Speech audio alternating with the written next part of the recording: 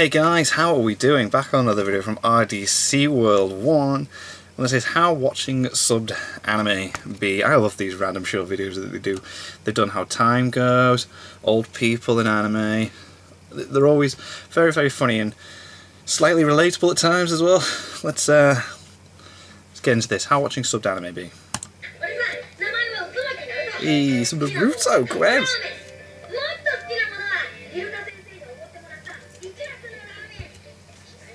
Oh no, don't look away.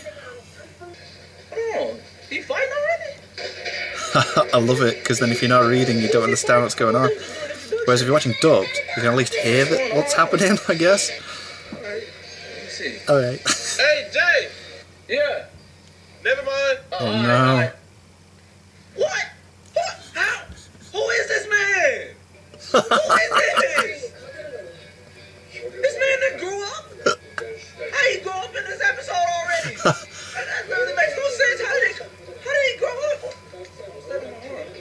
Oh no. What? Who are they? That's so He's so over the top with it. got a whole family. Got to He got a son and a daughter. He married her? What? It was just on the first episode. What is this? What is this? What show is this? Why are you on Bleach now? This is not the same show. This is not the same show. How? How is this possible? She looked away ain't like even next anime. this not even not an anime no more. I didn't turn no channel or nothing. What is going on?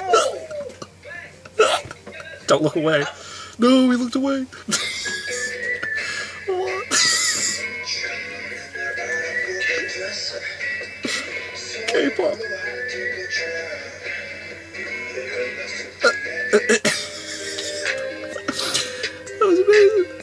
Was so good. It, it, point to be made in that though.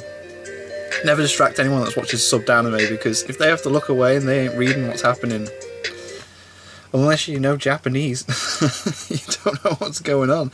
I do understand that one. Say if I want to do something but have some anime on the background and know what's happening, I'll probably dubbed anime I'm fine with, you know, um, because I can at least hear the conversations and get the gist of what's happening when doing other stuff. But sub, I feel for him, man. that was so dumb though. he grew up, he got a family, he got married. this isn't even anime anymore. that was boss. I thought that'd be a nice little uh, short, fun little reaction there. So thank you guys very much for watching. What do you guys think of that? What do you guys think of this? Click like, subscribe, and leave comments down below. Let me know what I should watch and discuss in future videos. I'll see you guys. So you guys next time.